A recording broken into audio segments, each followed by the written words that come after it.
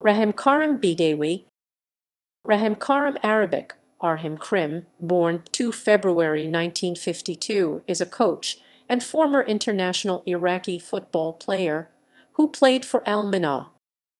Honors Local Al-Minaa 1978 Iraqi League champion. International Iraq 1977 World Military Cup champion.